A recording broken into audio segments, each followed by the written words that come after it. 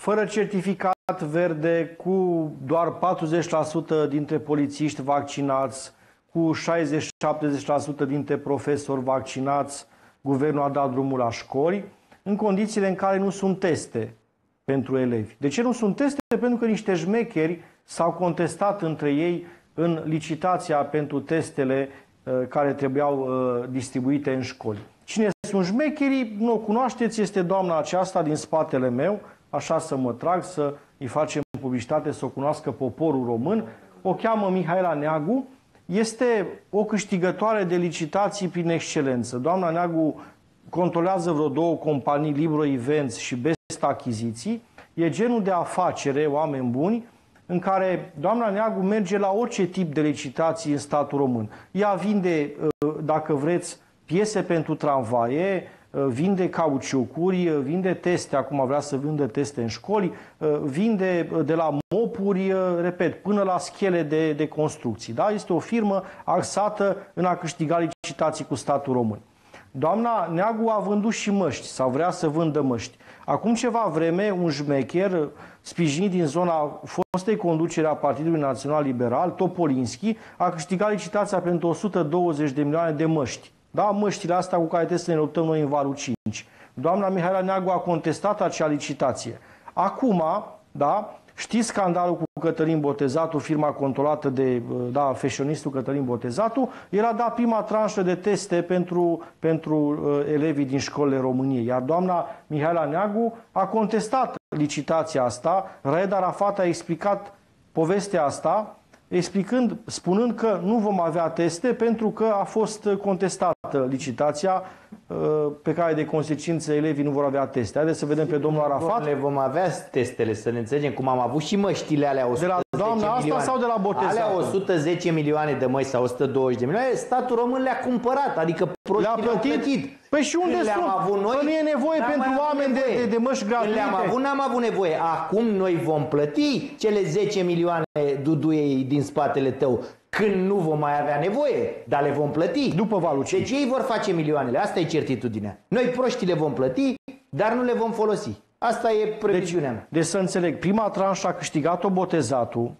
și a câștigat după aceea Mihaela Neagu Jmecher asta și botezatul a contestat-o pe asta. Da, pe au, doamna schimbat, au meu. schimbat și zic eu bine că au schimbat, dar pămuțește că tot e cu dedicație. Acum mă faci de dau totul din casă, vreau să fac o anchetă. O să o fac, nu o păi, las, dacă ai idee. Da. Ei au schimbat ideea kitului pe care noi am contestat-o. Nu se poate boteza, au niște mizerii, niște saci, niște vrac, vrac, luați bă, Și au pus pe amărâții de profesor și, să da, ia din sacul cu tare să facă la, la următoarea tranșe, ce au făcut? Au făcut în așa fel încât să spună, bă, acum ni le aduceți frumos ambalate bucată cu bucată, dar ca să câștigați licitația și să vă dăm ok-ul, trebuie să ni le aduceți să le vedem aici, când începe, când vă înscrieți.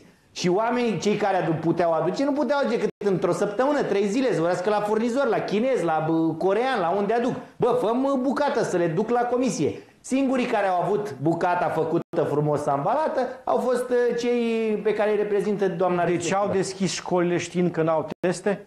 Și că urmează să fie contestată și jmecherii Dar se gândește cineva da? la, la sănătatea populației din ăștia care fac milioanele astea, Silviu? Ai mă, cine de ce au uh, deschis? Raed Arafat despre testele în școli și apoi o intervenție a purtătorului de cuvânt a PSD, domnul Radu Ștefan Oprea.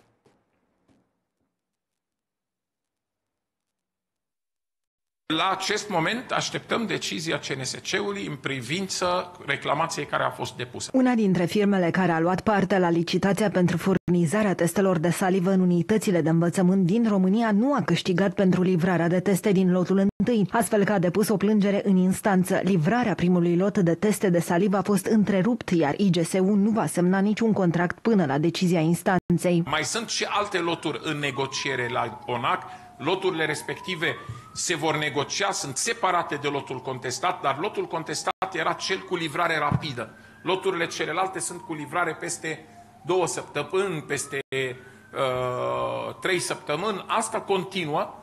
Dacă acolo cineva poate să aducă mai devreme, o să vedem. Inspectoratul General pentru Situații de Urgență trebuia să semneze contractele subsecvente cu cele patru firme câștigătoare care ar fi trebuit să furnizeze 18,5 milioane de teste. Și asta nu este singura problemă, mai afirmă șeful DSU Raed Arafat. China intră în noul an Adică vor avea o vacanță care de regulă înseamnă săptămâni de zile, 3-4 săptămâni. Toate aceste teste, marea parte, vin de acolo.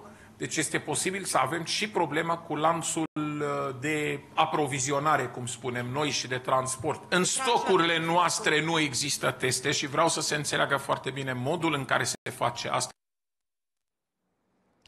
Voi, vă, voi, voi înțelegeți, dragii mei telespectatori, despre ce discutăm. Raed Arafat, uh, Raed Arafat vorbește despre licitații, despre teste în școli. Ce treabă are Raed Arafat, de fapt, da. în poziția lui în statul român la DSU? Dânsul are specializarea asta de terapie intensivă, este șeful DSU, el vorbește despre licitații, n-are niciun fel de competență. Licitațiile se fac la ONAC, da? Oficiul Național pentru Achiziții Centralizate, este, un, este o doamnă Madame Naghea, înțeles, nu mai schimbă nimeni de acolo, da? Ce treabă are Arafat cu achiziția de teste în școlile României și el vorbește și știa amănunte, cunoaște proceduri, cunoaște cine contestă pe cine și nimeni nu se sesizează în statul român și nimeni nu întreabă, băi băiatule, lasă dracului achizițiile, că jobul tău nu este să te ocupi de achiziții. Da? Și minte. Silviu, Înțelegi? mințit în fața acum în acest material să înțelegă telespectatorii. Spune că nu sunt teste în piață. Eu vă spun că în primul lot alături de botezatul au mai fost și alții, 2-3 mici, da. da, mai mici. Ălora nu le-a făcut comandă domnul Arafat. Pentru că ce s-a întâmplat? Licitația a făcut Neagru, ONAC. Licita... A primit comandă Madame Neagru Madame de la Neagru a venit cu lotul 3, lotul al 7 a câștigat acum. Ălora din primul lot alături de botezatul nu le-a mai cerut nimeni uh, comandă. Pentru că asta a fost ideea. Licitația s-a făcut la ONAC și a câștigat botezatul și încă 3-4 mai mici. Gigel, Costel, Ionel. Lui Gigel Costel Ionel trebuia să le facă notă de comandă domnul de la DSU, da? Înțelegeți? Și nu le-a făcut nimeni, Ăia, pe lor nu le-a cerut nimeni, că nu interesa. Cu da, bazi motive. Dar ce bătaia asta de joc? Onacu face licitație și comanda da, Arafat. Da, vine de la, El spune, tu îmi dai teste da, da. sau tu? Tu nu-mi dai teste. Ei au rămas cu un contract cadru ceilalți. Știți ce înseamnă contract cadru? Că vă, vă deranjăm noi când avem nevoie. Domn Colas Uicoliu, celebra vorbă. Bună seara, domnule Oprea, mulțumesc pentru intervenție, purtătorul de cuvânt al PSD, senator al partidului. Bună seara și la mulți ani! Bună seara, la mulți ani! E prima dată când ne vedem în anul acesta. Domnul Cristerheș, europarlamentar, PNCCD. Bună seara! Bună seara și Cuno- mulți ani! Cunoscut antivaccinist. Mulțumesc nu, pentru prezență. activității vaccinării. Păi dar ce nu v-ați vaccinat, din câte știu? Păi una, una altă Hai. Alegerea trebuie să Nu sunteți antivacciniști, doar, dumneavoastră sunteți antivacciniști doar pe, pe Facebook, la televizor nu, nu sunteți. Sunt, da? Nu sunt antivacciniști și n-a fost niciodată. Sunt împotriva obligativității vaccinării. O asemenea decizie care ține de chestiuni medicale, o spune Convenția de la Oviedo, o spune Carta Fundamentală a Drepturilor Omului în UE, o spune Constituția României, o spun legile din România, trebuie să fie luată în mod liber și corect informat. Da, atunci sunteți împotriva certificatului verde. Împotriva certificatului verde, da, sunt. Da. Uh, domnule Oprea, uh, povestea asta l-am văzut pe domnul Ciolacu, apropo că interveniți, că nu s-a pus uh, niciodată problema demisiei sau demiterii domnului Rafila. Asta l-am văzut pe domnul Rafila în conferință de presă cu Raed Arafat, pasând sau trecând în, la index discuția despre certificatul verde. Ce veți face în zilele următoare? își asumă guvernul Ciucă, premierul Ciucă își asumă certificatul verde, îl treceți prin Parlament, îl îngropați, ă, că vedeți că a venit valul 5, deci e o realitate, nu puteți să o contestați. Este o decizie la nivelul coaliției care încă nu a fost ă, formalizată. Ă, este și declarația președintelui Marcel Ciolacu și a celorlalți președinței coaliției că încă nu s-a ajuns la o formulă care fie de uh, trecere prin Parlament, deși astăzi în Parlament, în Comisia, la Camera Deputaților există o propunere uh, care poate fi dezbătută pentru certificatul verde. Problema este însă că, într-adevăr, valul acesta este în România. Au fost raportate astăzi câteva sute, cred, de uh, persoane infectate cu Omicron, cu noul uh, Uh, virus și atunci uh, sigur că sunt foarte multe măsuri care trebuie luate, un pachet de măsuri pe care l-a propus uh, Alexandru Rafila, domnul ministru, domnul profesor, astfel încât uh, să uh, poată... Mai mult, mai mult de sute, uh, deci uh, a fost, a, fă, a fost făcută analiza, sunt mai, multe, mai mult decât sute de cazuri de Omicron, dar nu asta e problema. Omicron în România este uh, uh, transmitere comunitară, adică nu mai sunt cazuri, uh, cum să spun eu, punctuale din străinătate, este o transmitere comunitară, adică este la liber, să înțeleagă oamenii.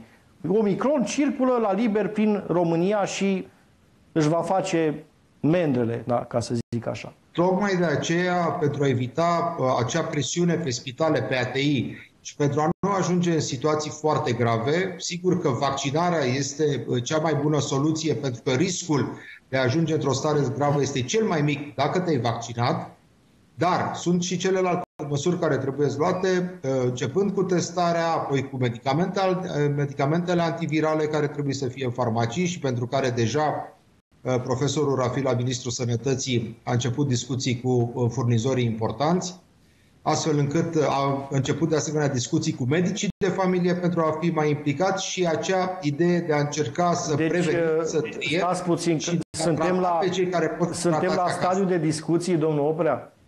Nu, nu, sunt deja, sunt deja discuții foarte avansate în sensul în care sunt medicamente de tip nou, cum au fost aceste anunțate de Pfizer sau de alți producători. Domnul uh, Oprea, când vin medicamentele, lăsați discuțiile avansate... aprobate în decembrie în Statele când vin medicamentele, domnul Oprea, când vin medicamentele... Când se produc, de bea aprobate FDA, unele nu sunt Atunci încă să fabricate. Atunci mai, mai proaste, măcar să păi, fie în farmacie. Nu, dar nu e, totuși nu ești Ombilico del Mondo, nu o să primești primul. Și ele vin, încă n-a fost Când un vin? pacient, După ce valul a fost sau... un pacient care n-a primit anticorp monoclonal, unul, arătă, nu doi, unul singur, care avea nevoie și n-a primit anticorp monoclonal. Că sunt, cum vă spun, două, o, 200 și ceva uh, și au Domnul Oprea, o, o întrebare, o întrebare de 10 ori mai multe medicamente decât sincer, pacient. vă rog.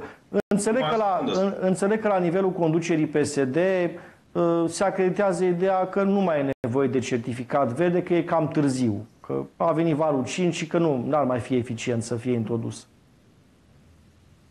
E este corect asențiunea asta? Care, a fost o declarație pe care a făcut-o, cred, ieri într-o emisiune la un alt post de televiziune uh, președintele Marcel Ciolacu, în sensul în care uh, deja suntem într-o uh, fază destul de avansată, astfel încât procedurile legislative, oricare ar fi ele, s-ar putea să dureze destul de mult. Aceasta a fost declarația și uh, dacă o privim din acest sens, da, poate să dureze destul de mult până ajunge să fie o lege promulgată. Păi domnul prea nu e nevoie. Mai iertați-mă și continui întrebarea lui Silviu. Acum, noi vorbim de niște de hățișul ăsta legislativ când e vorba de salvarea unor vieți și de lucruri care țin de viață și de moarte. Acum, iertați-mă, eu întăresc întrebarea că vă știu un om sincer și vă întreb mult mai direct. Nu cumva pare uh, medicul, expertul, specialistul Alexandru Rafila lăsat singur în povestea asta uh, doar în ideea că uh, din punct de electoral dă foarte prost certificatul ăsta și atunci mai bine ne spălăm pe mâini cu el?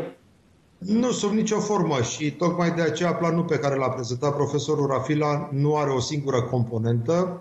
Vaccinarea este importantă și este soluția, asta este evident, Însă, ideea de a încerca să schimbi discursul și să te duci spre un parteneriat... Da, de ce tot vă agățați de vaccinare? Domnul Oprea, știți că s-a îngropat vaccinarea în România. Nu mai este niciun fel de vaccinare. Sunt 300, 300 de vaccinări pe zi, 357 au fost ieri, s-au luat ieri. Sunt niște cifre vizibile. Despre, de ce mai discutați despre vaccinare? Că nu este niciun fel de vaccinare în România. Bun, Asta e o discuție de asta să... la televizor, faceți o declarație că apa uh, de la robinet uh, încă este bună, este apă plată la robinet. E un truism care nu are niciun fel de sens. Vaccinarea este bună. Nu mai există vaccinare în România. Ar fi interesant uh, să vedem ce faceți că fără vaccinare și fără certificat. Iar bătălia, bătălia se dă acum să-i convingem pe români să poarte măști. FFP 2. Certificatul poate da. porni vaccinarea, domnul Acum, spun eu. Uh, în momentul în care uh, aceste discuții au avut loc în Senatul României, știu pentru că am fost la aceste dezbateri, era o presiune foarte mare pe sistemul de sănătate și forma propusă atunci în Senat ducea la riscul ca în momentul promulgării legii 40.000 de cadre medicale să nu mai fie la locul de muncă de a doua zi. Ar fi fost foarte mult pentru un sistem medical care oricum era uh, cu o presiune extraordinar de mare pe el. Acestea au fost motivele pentru care PSD a spus că nu va vota și sigur, se uită astăzi că uh, le-au lipsit două voturi și ar fi putut să le aibă cei care erau atunci în uh, coaliția uh, de la guvernare. Dar să spunem că asta este istoria astăzi. Uh, mai important este să conștientizăm că trebuie să luăm aceste măsuri și dacă vorbim despre măști, sigur că noi întotdeauna discutăm despre cine le importă, cum le importă, dacă e corectă tranzacția, dacă s-au datoruri, lucruri pe care le-am spus și noi mereu când vorbeam despre uniform, am fost la dumneavoastră în emisiune de foarte multe ori împreună. Însă, mă uitam astăzi pe uh, o cercetare, pe un studiu foarte serios care arăta că masca chirurgicală purtată corect de doi uh, cetățeni care se întâlnesc pe stradă uh, duce la o protecție în cazul în care unul este infectat cu uh, virusul Omicron până la o oră.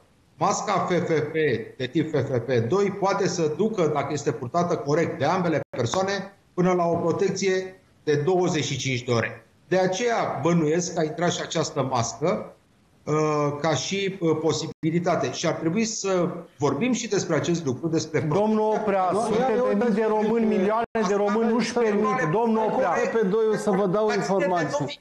Domnul Oprea, n-au bani să și le cumpere. Domnul Oprea, nu n-au bani să și le cumpere. În Austria, unde este obligatorie purtarea măștii FPP2, guvernul a reglementat prețul. E Corect. considerat, deci, păi, haideți să-l pune 0,49 de euro, deci 49 de euro. 5 cât deci înseamnă? cea mai ieftină mască de asta costă undeva la, de la aproape 2 lei. Și... Nu, de asta chirurgicală. FP, stai, nu, nu FFP, de... de asta, mă, cea mai ordinară valvă. Da, da? Aceasta. Deci, Dom'le, am trebuie să poți, ca să respecti legea și recomandările medice, trebuie să poți 3 pe zi, da, dacă ai activitate. 3 pe zi ori 2, da, înseamnă, să zicem, 6 lei ori 30 de zile, 180 de lei, da, minim, da, ca să respecti, să fii foarte riguros. Dacă mergi pe stradă în orașe România, am văzut niște imagini care practic îți rup sufletul, da? Oameni pe stradă, oameni în vârstă care poartă măștile alea, le vezi că sunt murdare, sunt măști care sunt purtate probabil săptămâni întregi sau luni întregi. Nimeni nu respectă în mod real, pentru că dacă ai respecta ca la carte portul acestei măști, inclusiv cea mai ieftină dintre ele, ar trebui să scoți undeva la 200 de lei pe lună sau 180 de lei, să porți 3 pe zi, să le schimbi, să le arunci așa mai departe. 49 de euro, 5, cea mai bună masa asta performantă FP2 înseamnă uh, 2 lei jumate. La noi e 5 lei cea mai în ieftină. Austria, în Austria, în, în România. Păi și cine îl oprește? Ok, păi nu pot să, bă, bun, bă, e o idee să restricționeze. Păi nu mai fac milioane de euro băieții pe. profit valvul. Cu asta e povestea, da? Uh, apropo de bărbați păi de stat, Austria, da? Fac, dumne. Uh, Care politica, uh, politica este un sport foarte profitabil.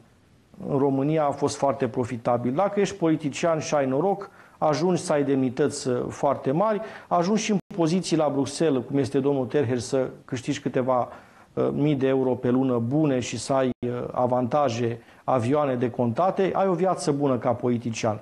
Problema este că un politician își dă măsura valorii atunci când este pus în fața unor decizii impopulare. Politicianul adevărat, puternic, este ăla care ia decizii care sunt împotriva interesului lui politic, imediat, electoral. Cu alte cuvinte, știi că e o lege, că dai o lege sau e o măsură care nu îți va aduce voturi și care te va trimite în opoziție și care te va face să rămâi fără funcția pe care o ocupi, aia bună, cu girofar, cu sepepist, cu uh, avantaje, cu bani ușor pe care îi câștigi. Ăia sunt politicieni adevărați. În România nu prea există. În România există, s-a inventat uh, specia, uh, cum să spun eu, politicianului, să zicem, uh, șacal, da? ăla, uh, cum să spun eu, care vede orice oportunitate, orice, cum să spun eu, orice idee, orice chestie, cum să spun eu, care se învântă zona online, de unde poți câștiga voturi ușor. Uh, acolo, aici este moda politician. Nu mai există politicianul care își asumă lucruri impopulare. În Franța, vă spuneam, președintele Franței nu mi este simpatic Emmanuel Macron, din multe motive, da?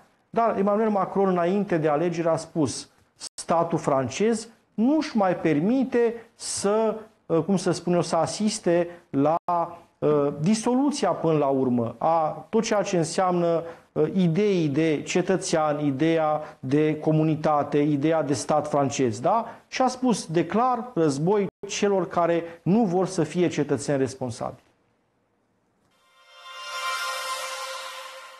Nu vreau să enervez poporul francez a spus președintele într-un interviu cu cititorii cotidianului Le Parisien. Dar în ceea ce îi privește pe cei nevaccinați, chiar vreau să-i enervez și vom continua să facem asta până la capăt. Aceasta este strategia. Dar oponenții politici au spus că limbajul pe care l-a folosit în interviu nu este demn de un președinte. Comentariile sale au venit în timp ce un proiect de lege privind certificatele COVID a fost amânat de parlamentarii opoziției care s-au unit împotriva guvernului. O dezbatere în Parlament cu privire la proiectul de lege care ar împiedica persoanele nevaccinate să intre în mare parte din viața publică a fost împiedicată să continue după miezul nopții. Legislația ar fi fost de așteptat să fie aprobată într-un vot din această săptămână, dar i-a înfuriat pe oponenții vaccinului și mai mulți parlamentari francezi au declarat că au primit amenințări cu moartea pe această temă. În interviul său din Le Parisien, Macron a spus că, deși nu va vaccina cu forța, el speră să încurajeze oamenii să fie vaccinați, limitându-le pe cât posibil accesul la activitățile din viața socială. Nu voi trimite la închisoare, a spus el. Deci trebuie să le spunem din 15 ianuarie, nu veți mai putea merge la restaurant, nu veți mai putea merge la o cafea, nu veți mai putea merge la teatru, nu veți mai putea merge la cinema. Limbajul pe care l-a folosit Macron pentru a-i deranja sau a-i enerva pe cei nevaccinați a provocat o reacție puternică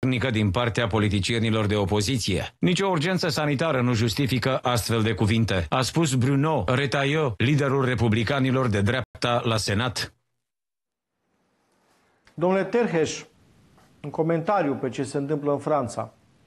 V-am văzut da, foarte activ pe Facebook. Ați făcut o afirmație care mă privește și trebuie să vă răspund. Pentru că ați vorbit despre salariul pe care îl are un europarlamentar. Salariile oricărui politician sunt publice și există să trec în fiecare în declarația de avere. Uh, și în declarațiile de interese, dacă există, dacă orice om politic din România face parte dintr-un consiliu de administrație sau asociație. Diferența aici spune cu unele trusturi de presă care primesc bani din partea guvernului să promoveze agenda guvernului, cum e și chestiunea aceasta cu vaccinarea. Referind acum, referind de la exemplu, aici cea... nu există niciunul. Nu știu de ce aruncați. Care e trustul care primește bani de la guvern să promoveze vaccinarea? Știu, am aflat că nu sunteți antivacciniți, dar măcar să sunteți pro-adevăr. Despre ce e vorba? Pro-adevăr. Păi Lista și... este publică. Lista este publică. E o, e o dezinformare de... ce faceți dumneavoastră. Nu este nicio dezinformare. Ba, este chiar, chiar o minciună, ca să vă zic. E explicit. Lăsați pe domnul Terzi să-și facă numărul. Dacă da, ați întrebat, nu înțeleg de ce săriți. Vreți să vă întreb direct câți bani a primit de nu, de exemplu, Da, întrebați-mă, eu vă spun că a spus o minciună. Cu promovarea vaccinării nu s-a făcut. De exemplu, pentru a promova această campanie. Vă întreb. Zero lei. Și rest ce ați spus e o minciună ca multe altele pe care le spuneți. Confundați, mă fac și eu că n-am oricum eu bani de la guvern n-am niciodată, dar confundați lucrurile. Banii s-au dat în prima parte a pandemiei Așa, pentru învățatul să purtăm masca. Ceea ce a fost o prostie între noi, vorba, o idioțenie. Dumneavoastră ca jurnaliști aveți obligația de a vorbi adevărul. Nu păi nu, dar nu putem să mincinos. Dumneavoastră ca mincinos.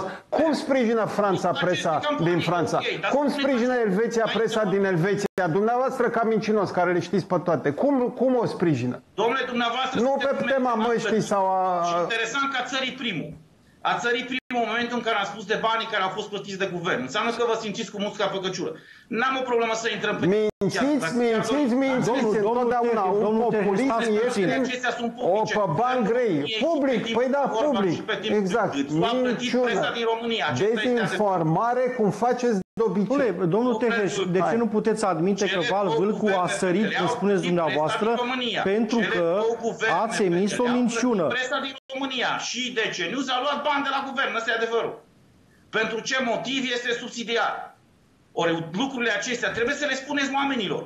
Pentru că ceea ce ați vorbit aici... Da, jumătăți de adevăr... Deja ați nuanțat-o, domnul Terheș, iertați-mă, da, ați nuanțat-o. Păi ați spus că a primit bani să promoveze antivaccinarea sau... Ascultați argumentele dânșilor. Ascultați argumentele dânșilor. N-am niciun argument.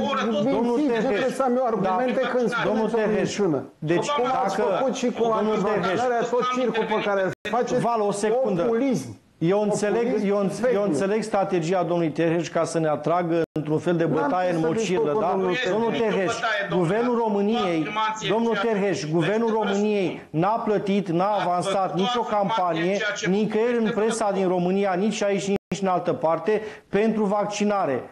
Guvernul României n-a plătit, nu mai, nu mai, uh, nu mai mințiți, nu mai veniți cu informații. Dacă ați văd... bani de la guvern, deci, da sau nu? Vă întreb. Adoptarea... Pentru campanie de publicitate ați primit bani. Domnul Terheș, nu am primit bani de la guvern pentru vaccinare. Nu există nu, campanie plătită de guvern pentru vaccinare. Dumneavoastră repetați și re, re, văd, văd chestia asta, domnul Terheș. Nu există o campanie plătită de Guvernul României pentru vaccinare. Cum nu e pe nici PNCCD. Asta e o fantomă, PNCCD-ul pe care îl invocați. Vă pretindeți jurnaliști. Luați tot narativul guvernului fără să chestionați ceea ce se spune. Au fost câteva site-uri din România și televiziuni care au refuzat să ia banii respectiv. Ori lucrul acesta trebuie să spuneți oamenilor. Da, au luat de la ambasada Statelor Unite, dau un exemplu, Oameni buni, dacă un politic ia bani pe nedrept, da. fie băgat la pușcărie. Dar nu puteți veni cu astfel de afirmații să aruncați un vot de blam la, tot, la toată clasa politică că ia bani. Păi care, ce salarii a fiecare om politic e public? Aici e diferența între noi și voi. Pentru că luați sub pretextul unei campanii mediatice de promovare a guvernului și veniți și propuneți și promovați exact aceleași mesaje guvernamentale. Dar fiți măcar transparenți cu chestia asta, eu n-am nicio problemă. Dar și lista, cu, și lista de care vorbiți, domnul Terheș, a fost la fel de publică cum sunt salariile parlamentarilor. A fost da. o listă foarte clară cu banii de la da. guvern, dar spuneți da. oamenilor, pentru că aici are dreptate Silviu Mănăstire, dumneavoastră aruncați jumătăți de adevăr și aruncați anateme care, pe care oamenii nu, nu le înțeleg. A fost care... pe vremea lui Orban, s-au dat 40 de milioane de euro. A dat la fel de mulți bani presei. Poftim? Și câți a dat bani la fel de mulți. Dom'le, eu vă spun cum a început. A fost acea campanie de purtatul măștii. Purtatul măștii nu are legătură cu vaccinarea. Spuneți oamenilor, vă vorbește unul care n-a luat un leu de la guvern, firar mama lui de guvern și de-aia am curaj să mă uit în ochii noastre și ai telespectatorilor și să vă spun că spuneți aberații. De asta vă spun asta. Eu am susținut păi de la bun început că a fost o campanie proastă aia cu banii și nu a reușit. Atunci eu vă întreb. Da, am bucurat. Eu cred că am intrat în capcana lui păi Crist, da. lui Crist păi, Terheș, care înțelege foarte bine. Domnule Terheș, eu, vă suspe- eu nu vă suspectez de prostie. Vă cunosc Domnule, înainte, vă cunosc, vă cunosc înainte ca să intrați în politică. Vă cunosc personal.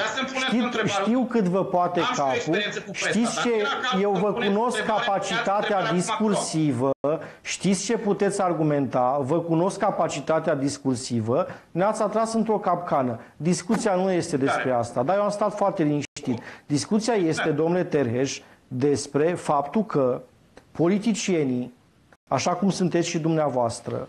De aici am început discuția. Da. Trebuie să-și asume câteodată în viață și măsuri impopulare.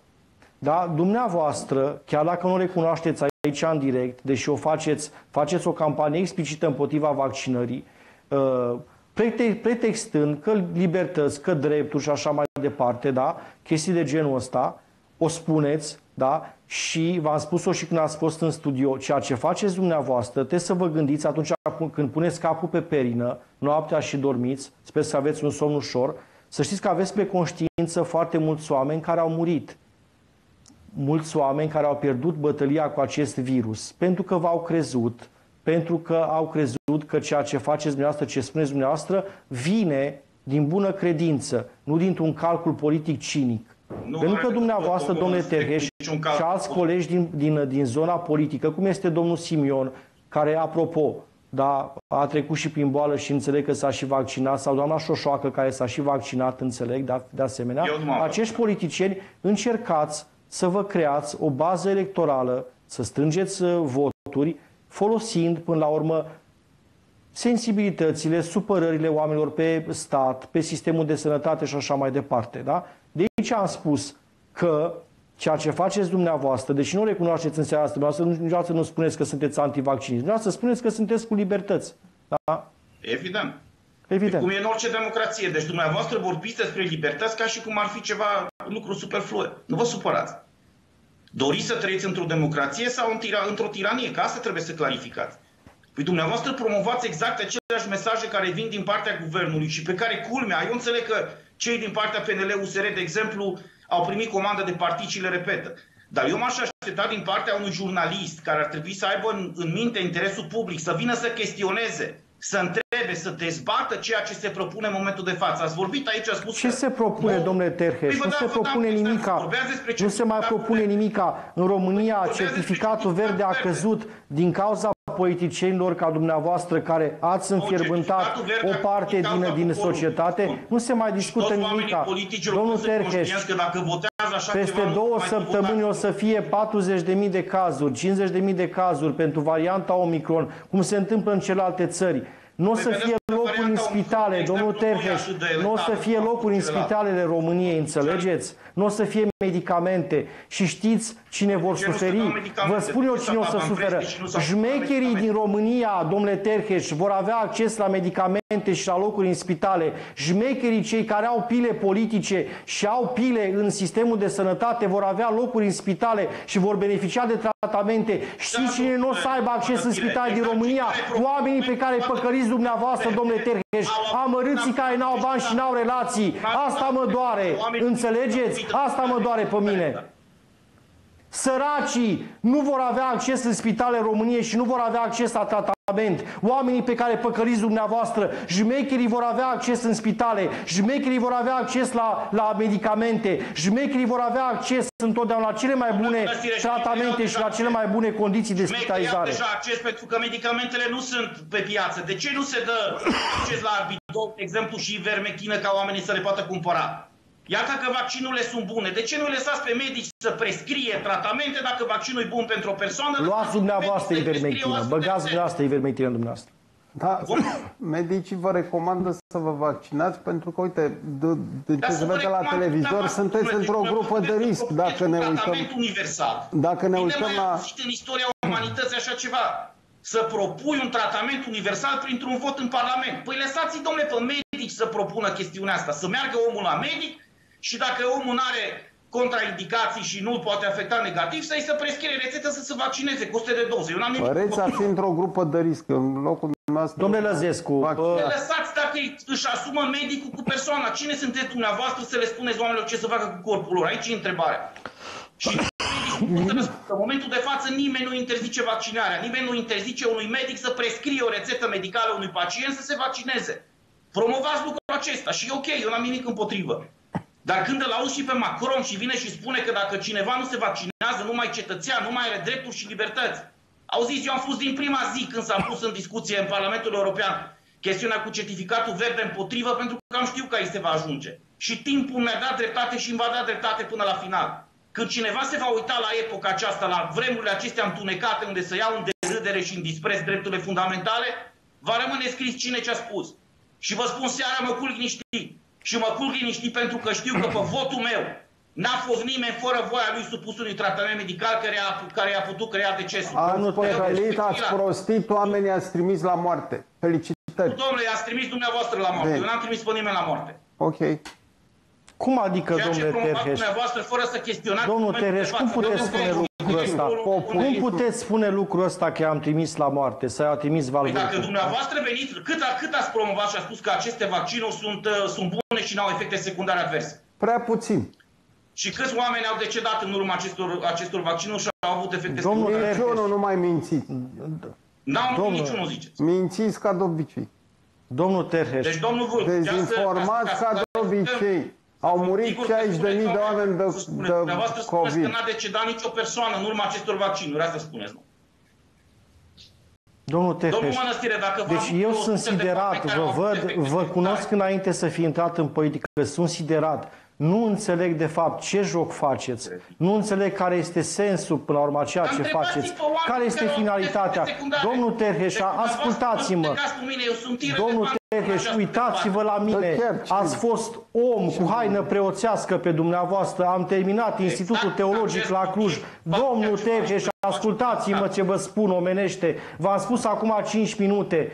Amărâții pe care îi păcăliți nu vor avea locuri în spitale pentru că sunt amărâți și oameni care n-au relații, n-au bani. Nu vor avea locuri în spitalele României. Toți Păi șmecherii o să-și rezolve în perioada următoare să aibă tratamente și medicamente în spitale. Domnule să-și Terheș, rezolve. i-ați păcălit. Iar amărâții ăștia ăștia măcar aveau o șansă dacă erau vaccinați să nu ajungă la spital. Înțelegeți? Oamenii au fost păcăliți, dar cei care au ascultat pe cei din presă că vaccinurile n-au efecte secundare și au avut efecte secundare. Câte, care e proporția, domnul Terheș? Câte cazuri, câte cazuri de oameni care s-au vaccinat, domnul Terheș, câte cazuri cunoașteți documentate de oameni care s-au vaccinat și care au avut efecte secundare grave? Ca să fie o problemă, ca să considerați că e o problemă, vă întreb. Că de fiecare dată când se vorbește despre efectele secundare ale acestor vaccinuri, spuneți câte cazuri. Eu vă întreb, câte cazuri trebuie să, câți oameni trebuie să moară ca să considerați că e o problemă? Domnul Terheș, în copilărie, în adolescență, ați fost vaccinat. Domnul Terheș, nu există nu există niciun medicament. Domnule, și paracetamolul face rău. Domnul Terheș, dacă iei mult paracetamol, îți afectează uh, ficatul. Vă spune Val Vâlcu, nu există medicament. Domnul, domnul Terheș, nu există medicament, nu există vaccin, nu există niciun tratament care să n-aibă într-o anumită proporție efecte secundare. Tratamentul ți impus ca să se exerciți alte drepturi. Aici toată chestiunea. Cine vrea să-și ia un, un, o geantă de paracetamol, să-și ia o geantă de paracetamol, că nimeni nu-l oprește. Dar în momentul de față, dumneavoastră veniți și cereți celor din Parlamentul României să voteze o lege care abuzează și încalcă drepturile fundamentale ale oamenilor și când se pune în discuție efectele secundare adverse, toți vă dați bătuți și spuneți că da, nu Domnul Terheș, repet încă o dată, domnul europarlamentar, sistemul de sănătate în România este varză cu carne, este distrus. Ca au... să nu ajungi în spital, domnule Terheș, ascultați-mă, dar nu-i mai, nu mai păcăliți, nu mai fraieriți pe oameni. În momentul de față, eu spun următorul lucru, ca să nu ajungi într-un spital din România, pentru că e cu infecții nosocomiale, terapiile la, la, la terapie intensivă sunt cu sunt, ca să nu ajungi în spital, vaccinați-vă, pentru că în spital e nasol și dacă o să fie mii și mii de cazuri și o să fie supra-solicitate spitalele, a ajunge într-un spital din România este loterie. Șansa cea mai bună este să fii vaccinat, să faci o formă ușoară, să stai acasă, să iei un tratament antiviral acasă și să nu ajungi în spital. Ăsta este un argument serios, domnule Terheș, nu puteți să-l, nu puteți să-l ignorați.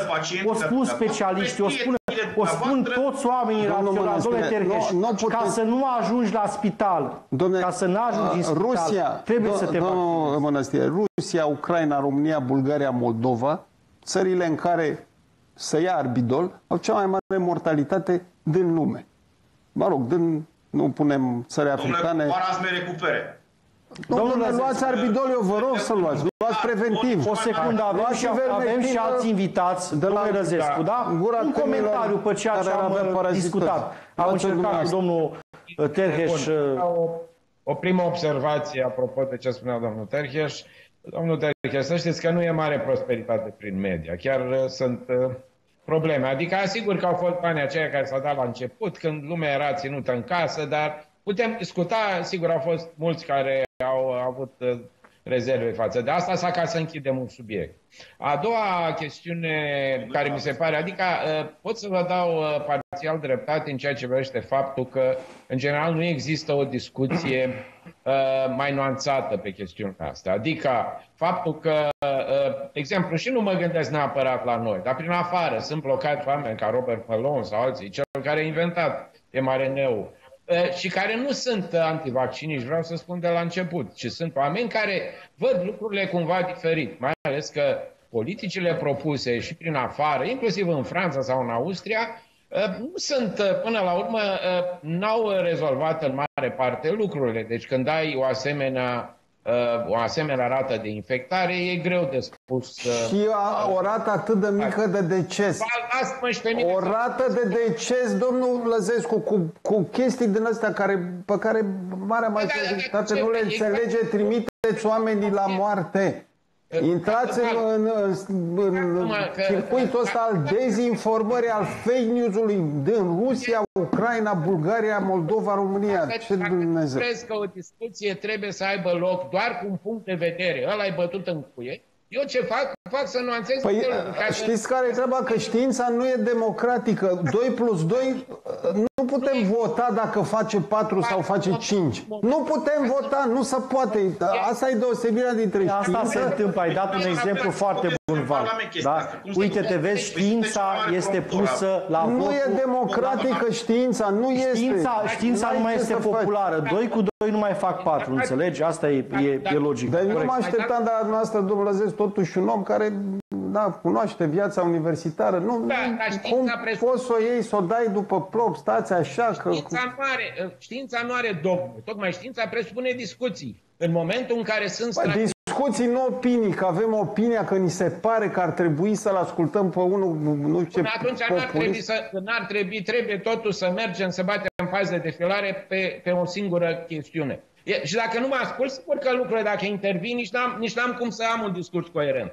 Eu ce vreau să spun este că avem câteva puncte foarte clare. Politicile de până acum n-au rezolvat pandemia, au rezolvat, și aici sunt de acord, eu sunt vaccinat, ca să nu este niciun dubiu. Iar Dar nu- Deci ca să nu existe discuții cu privire la felul în care mă raportez la vaccin. Domnul Lăzescu, dacă îmi permiteți, o să vă spun ceea ce am spus și domnului Terheș, da? Nu e neapărat fair play ce spun. Am cunoștințe, am prieteni care s-au îmbolnăvit de COVID, oameni cu o poziție socială bună, cu bani, și întotdeauna au pus mâna pe telefon și au primit cel mai bun tratament pe la bal și în altă parte, și acum un an și jumătate, pentru că erau oameni cu influență și cu bani. Și au beneficiat de tratamentul ăla monoclonal și altele, au fost cazați singuri în rezervă. Eu vă repet, oameni buni, dacă sunteți săraci, nu aveți bani, dacă nu aveți o poziție socială, dacă nu cunoașteți pe cineva din sistem și vă îmbolnăviți și se va pune problema să nu fie locuri în spitale, nu veți avea acces. Vor avea acces oamenii bogați, oamenii influenți și oamenii care vor avea în agenda telefonului pe cineva care o să le deschidă o ușă. Ascultați-mă, așa funcționează România. Eu nu vă Înțelegeți contrazic cu lucrul asta. ăsta, da? Încercam să pot o Dacă discuție. veți avea nevoie de tratament, nu veți avea loc, nu veți intra. Și Doamne ferește să ajungem în situația în care ajungeți în fața ușii unui spital și o să vă scoată afară. Pentru că spitalul este plin de pile și de relații și de oameni cu bani și Da, șmecheri. da, noi Înțelegeți? discutăm acum Da? Despre asta e vorba, da? de politici care, a- apropo de tip, vari- formulele, de, formulele în care a fost abordată gestiunea pandemiei în diferite țări din Europa. Asta era discuția pe fond, nu? Deci, Ca să discutăm. mai pe Eu românește spun că- spus, că nu pentru poți- oamenii săraci, pentru oamenii care n-au relații înțeleg și asta, pile în oamenii România, cel, cea mai bună protecție este vaccinul, că este gratis, este la dispoziție, e cea mai bună protecție este vaccinul. Pentru că dar- dacă, dar- dacă ai o formă gravă sau medie, în perioada următoare, cum se anunță Omicronul, nu o să ai loc în spital. Deci locurile o să fie drămuite și o să fie date pe pile, domnul Lăzescu. Da, Da? da, da, dar nu vă... Dacă ai COVID la țară, la Săvădis, la Cluj, nu vei avea loc la Cluj, în spitalul județean, pentru că Exact, șmecherii da. o să dea toate locurile din spital, domnul Lăzescu, înțelegeți? Da, dar nu înțeleg de ce îmi spuneți mie asta, că nu, n-am spus niciodată nimic altceva. Nu vă contrazic aici. Ce spun eu este altceva. Că atunci când ai o astfel de pandemie, trebuie să începi să iei în gestiune toate riscurile. Sunt riscuri legate de depresia din societate, sunt riscuri economice enorme, care fiecare vor avea inclusiv un impact în zona medicală, adică ceea ce vreau eu să spun. Și uh, încă o dată, nu vă contrazic deloc cu ce spuneți, nici măcar pe val nu-l contrazic. De-aia eu Sigur că sunt revoltat ideea de a- și eu poate că am depășit măsura în seara asta și sunt revoltat în ceea ce în schimbul de replici cu domnul Terheș Misiunea până la urma unui moderator este să fie mai ponderat și recunosc lucrul ăsta. Dar mă revoltă și mă doare sufletește când știu lucrurile astea. Le știu și le cunosc. Și sunt politicieni care păcălesc tocmai pe oamenii mai puțin informați, care n-au acces la, la uh, repet, care n-au acces, care n-au posibilități materiale, oamenii din mediul rural, oamenii din periurban, din mici localități, care sunt păcăliți și mințiți și trași pe sfoară. Pentru că oamenii aceia sunt cei mai vulnerabili. Dacă, repet, te îmbolnăvești într-o mică localitate din România, la Beclean, la, nu știu, la Huedin sau în altă parte, și, Doamne ferește, nu cunoști pe nimeni, n-ai bani, familia nu te poate ajuta, nu știe pe nimeni niciun doctor, ajungi să nu poți fi tratat și stai acasă și te tratezi cu ceai. Și, Doamne ferește, dacă faci o formă gravă, mori acasă și nu te bagă nimeni în seamă. Asta, de asta mă doare. De Dați-mi discuție, da? voie Uh, 30 de 30 secunde. de secunde să le transmit și eu un mesaj oamenilor să completeze ceva ceea ce tu ai spus. Cam, s-au spus multe bazaconi aici, multe lucruri și vă înțeleg, dragi români, că sunteți bulversați pentru că numai ce ați auzit în această seară toate ideile astea, aveți tot dreptul să vă bage în ceață. Eu vă întreb doar atât.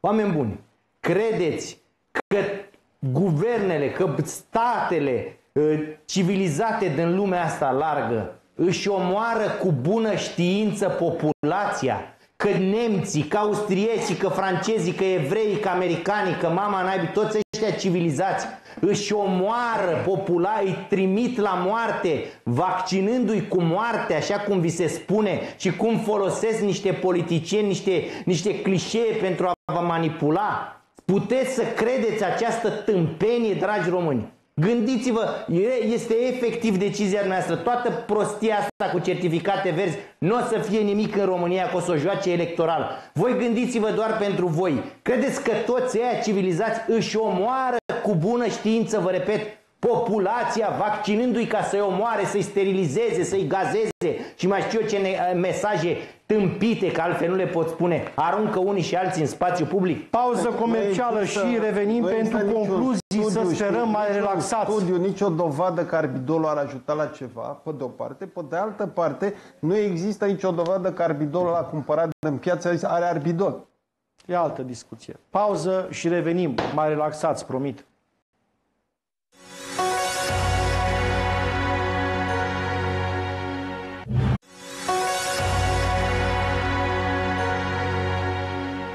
Rata de vaccinare din populația adultă cu cel puțin o doză este de 49,4%.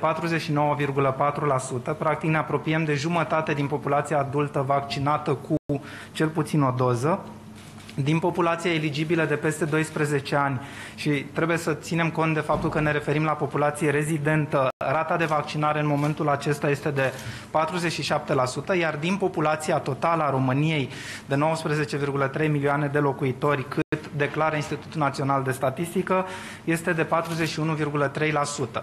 Rata de vaccinare cu, repet, cu cel puțin o doză.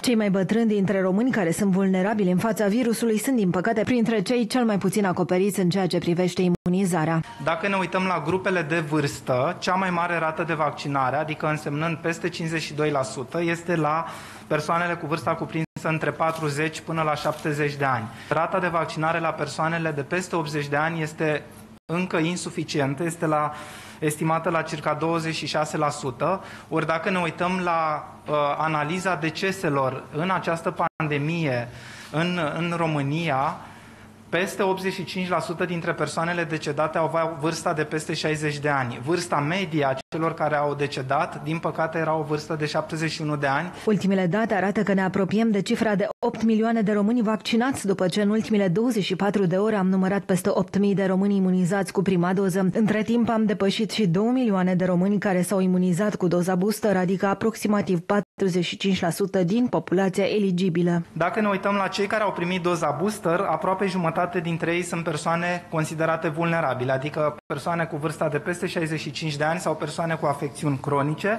restul fiind persoane din sectorul medical, sectorul social sau celelalte sectoare considerate esențiale, critice, precum și populația generală care este eligibilă pentru vaccinare. Da, domnul Gheorghiță, dând uh, informațiile statistice despre eșecul campaniei de vaccinare, astăzi am văzut uh, pe o televiziune din Marea Britanie o conferință a premierului Marii Britanii care vorbea despre valul Omicron și despre faptul că Marea Britanie cu 80 și ceva la sută rată de vaccinare stă foarte bine și discuția era legată evident despre de mortalitate. Haideți să facem o concluzie. Domnule Oprea, E închisă discuția asta legată de certificatul verde, de campania de vaccinare, din punctul nostru de vedere? Adică aveți o strategie, ați discutat cu domnul Rafila, faceți ceva ca să o impulsionați, să o este o decizie care va fi luată este o decizie care va fi luată în coaliție cu certitudine. Eu să voiam să vă felicit în seara asta pentru felul în care ați moderat, pentru că ați dovedit că tăria unui argument nu constă în uh, cât de tare îl strici. Adică nu cel care țipă mai tare are întotdeauna și dreptate. Și faptul că ați transmis un mesaj foarte clar uh, cetățenilor cu empatie, uh, cred că ați reușit să faceți un lucru foarte bun în seara asta și pentru lucrul acesta voiam să vă felicit. Nu e cazul. Am mai strigat și eu, a strigat și domnul Terheș. Domnul Terheș, 30 de secunde să facem o concluzie. Cum, uh, cum vedeți uh, valul 5, care va veni peste România? Asta este o realitate pe care cred că nu puteți să o negați, nu? Adică... Nu este vorba de a nega ceva ce va veni. Dacă ne uităm în spate la eșecul guvernelor anterioare, cred că se pot învăța o serie de lucruri care s-ar putea implementa de aici înainte. Iar ceea, primul lucru pe care putem să-l învățăm este că întreaga campanie care s-a dus până în prezent este un eșec. Pentru că persoane care s-au vaccinat se și îmbolnăvesc și și transmit boala mai departe. Ni s-a spus că nu sunt locuri în spitale, să puteau face locuri în spitale, să puteau transfera bani dintr-o parte în alta. Soluții există. Din păcate, singura, singurul narativ, singurul argument pe Ce care l-am auzit public este ca oamenii să se vaccineze. Nu am nimic împotrivă, cine dorește să se vaccineze, să o facă. Dar cei care promovează acest tratament medical și constrâng oamenii să se vaccineze contrar voinței lor și fără a fi corect informați și că dacă domnul de la PSD vorbea despre argumente, îi invit să facă publice contractele semnate de Guvernul României cu firmele producătoare de vaccinuri să le vadă și românii, să-l întreb pe dânsul dacă le-a văzut. Uh, să-și asume și răspunderea pentru eventualele efecte secundare adverse. Domnule Lăzescu. Da, eu ce vreau să subliniez și a fost greu să o fac, uh, vreau să spun că, sigur, o dimensiune este cea legată de vaccinare, după aia soluțiile adoptate ca politici în diferite țări sunt diferite. Dacă vă uitați, hai să vă dau un exemplu, dacă vă uitați la meciurile de fotbal de Marea Britanie de spectator lângă spectator. În alte țări, în Germania sau Austria, sunt tribunele goale. Deci sunt, chiar dacă gradul de vaccinare e oarecum similar. Deci sunt politici diferite, iar cel mai important lucru pe care aș fi vrut să-l spun este următorul. Că ar trebui, uh, unu, să existe, uh, să existe disponibilitatea de a asculta punctele de vedere care nu sunt contrare, sunt nuanțe. Asta, asta am subliniat, n-am mers niciodată pe cealaltă idee radicală. Iar uh, uh, cel mai important, după părerea mea, este să, să înțelegem că pandemia presupune foarte multe riscuri. Nu e numai riscul medical. Iar faptul că vom avea probabil valuri peste valuri în continuare, nu mă, mă gândesc că poate cel puțin poate un an, poate chiar 2-3 ani vom sta cu această pandemie, evident trebuie să avem în minte și să ne uităm și la uh, impactul acestei pandemii. Voi să vă dau doar un exemplu. În acești doi ani, exporturile chineze au crescut cu 30%. Asta schimbă geopolitic multe lucruri, în timp ce cele ale Uniunii Europene și Statele Unite au scăzut. Deci, uh, aceste modificări de, de, de, și nu mai vorbesc de Ucraina și de alte lucruri, adică noi trebuie să începem să gândim uh, cu inflație de 6% în Germania, vă dați seama, sunt probleme mari. Așa este, deci, da. Trebui, uh, Discuțiile despre economie, despre, despre impactul social, despre facturi la energie, pentru că înțeleg că a început un scandal nou astăzi în interiorul coaliției de guvernare PSD-PNL. Cei de la PSD sunt foarte supărați pe Uh, măsurile luate de vechea guvernare PNL-USR pe zona de energie. Mă refer aici la facturile la gaze și la energie. O să discutăm mâine. Mulțumesc că ați fost alături de noi. Ne vedem la ora 21. Sănătate multă. Urmează știrile nopții. Numai bine.